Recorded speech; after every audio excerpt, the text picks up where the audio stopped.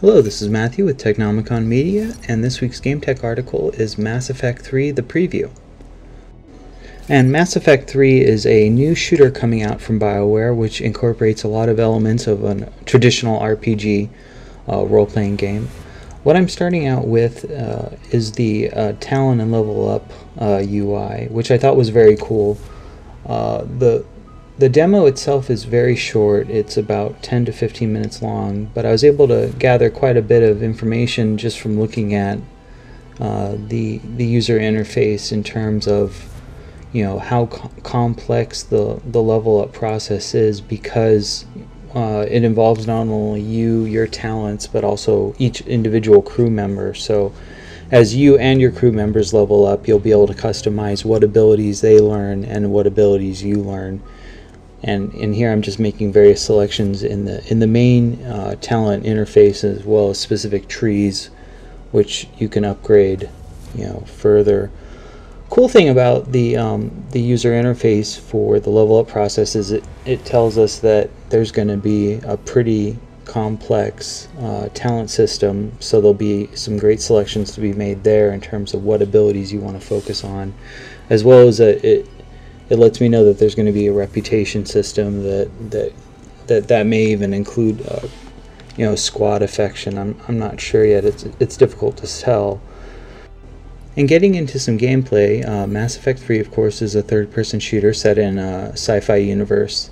And you can see behind me my, my two additional squad mates. Okay? Uh, cool thing about Mass Effect 3 obviously is the is the very very awesome graphics, but the gameplay itself is is pretty awesome as well. It's very fast paced. Right here you can see me dropping into stealth, and um, cool thing about dropping into stealth is even if you you jump out of stealth really quick, you get a huge damage bonus to your, to your shots when you're coming out of stealth. So you may just pop into stealth momentarily to to to do a couple different things. I I used it in the demo to to both you know get the damage boost as well as you know dropping aggro because you you, you go into stealth and then you know the enemies will go attack your your squad mates or whatever.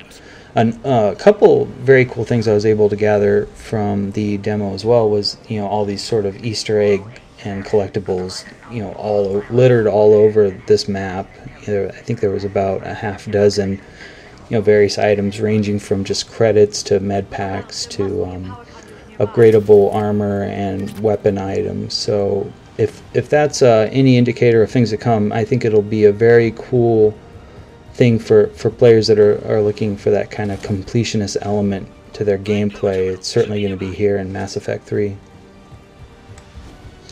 So the demo map of um, this level uh, contains obviously a lot of collectibles, but uh, the way it's laid out is there's you know multiple levels you need to sort of hit these checkpoints and and uh, activate multiple doors and uh, you know basically you know kill anything that comes near you sort of deal.